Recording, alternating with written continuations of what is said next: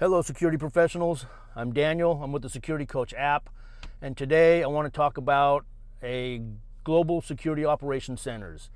Uh, you may get this vision from TV of these GSOCs, is what I call them, Global Security Operations Centers, GSOC, uh, of these rooms, these dimly lit rooms with um, multiple uh, TV screens with maps and graphs and everything on there. And uh, yes, that, that is a GSOC. That, that is a Global Security Operations Center. Uh, but you don't need to have all that to have an effective Global Security Operations Center. All right. Um, one thing you can do is you can follow social media. Twitter's an excellent platform uh, you uh, follow the city that you are doing movements in or where your client lives, um, and they'll send you alerts. Uh, follow earthquake, tsunami alerts, uh, weather weather alerts, traffic alerts. Nixle is a really good uh, local-based um, alert system that will give you uh, information in, in near real time. When I say near real time, it has to happen first, and somebody has to report it uh, for you to get the information. So it's near real time. I, I don't believe anybody when they say in real time because it's not really in real time. But but anyway, that's another story. Um, so uh, uh, a couple experiences that I've had with it was uh, uh, well, I'll, I'll kind of go back, and in no way am I politicizing or trying to benefit from the events of what happened in Nashville yesterday at a school. but I I, I I remember my experiences with uh, this, and it'll lead into what uh, the the GSOC will do and Twitter will do for you, and these other platforms will do for you. All right. So back when I was on the police department, uh, there was a, a guy. He uh, uh, his girlfriend broke up with him. He lit his house on fire, um, and then he went over to the ex girlfriend's house and uh, killed her whole family, shot up the whole family. Uh, we responded to that. I was the first one on scene, called out the containment, uh, readied the rapid response into the house.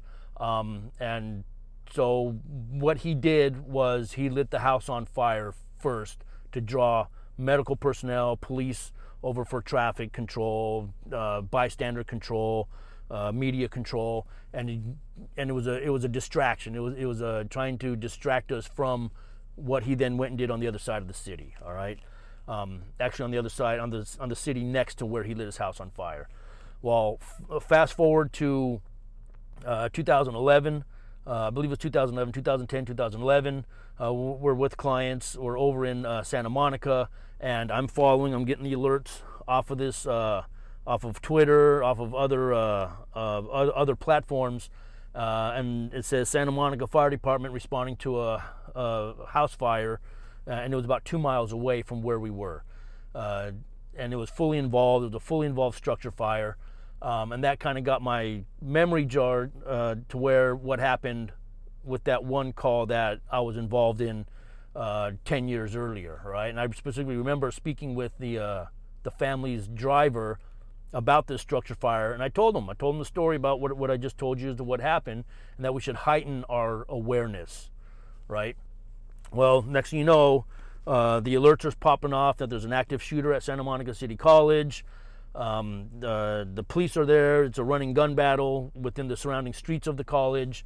Um, and all these alerts are coming in, and we're evacuating the client based off of those alerts. All right. Um, that was my GSOC at the time, uh, and it alerts you as to what uh, is going on within. You you said a mile radius. I usually do three mile radius of our clients. Um, our client was like super happy. She actually was calling and bragging to all her friends about what her security did and what their, uh, how on it they are. And uh, I want your client to be happy with your services also.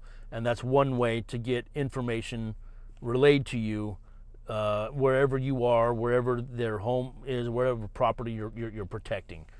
Uh, so that it's really really good you monitor let's say you have accounts in malibu like, like i do uh, monitor earthquakes across the ocean in japan because we know tsunamis can then come over um, you'll get your alerts from earthquakes all over the world and it could affect your client your client's uh, property uh, and and disrupt their business continuity which is what you are actually hired to preserve is their business continuity.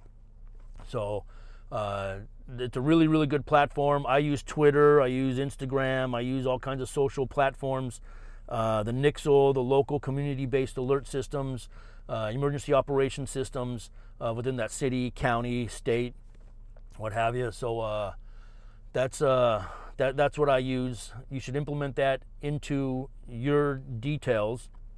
Every security team, every security program should implement that uh, these procedures into their details. So uh, just a little touch on that. Um, it's very, very effective. So uh, with that, it's just a really short video.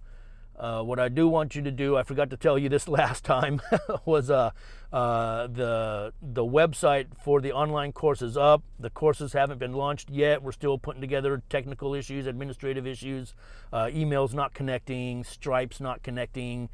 Uh, yeah, we're fixing all that, but the website is up. It's www.thesecuritycoachapp.com. Okay, so check it out. Look at all the programs we're going to be offering. Uh, you can sign up for our Security Mastermind program, which right now is an email list. Every Monday, I send out an email on topics like, like what I've been discussing in these videos, uh, procedures, uh, motivational uh, scenarios, uh, experiences that I've that I've experienced in my law enforcement career, now in my security career. Um, so go join it. It's www.thesecuritycoachapp.com. Uh, even even uh, clients who follow me that are not in the uh, security industry, uh, sign up, get the information, follow me on YouTube at the Security Coach app, Instagram at the Security Coach app, and uh, you can see what your current security company is not doing for you, or ask them why aren't you doing this, or how are you doing this. Um, yeah, you can learn a lot about the security industry, a lot about procedures, what which security companies should be doing for you. Uh, security companies, uh, give me a follow, look at the programs. There's always continuing education. You can always learn from me. You can always refresh if you already know. So, uh, so go check it out. Uh, it was good talking to you, and uh, we'll see you again soon. All right, take care.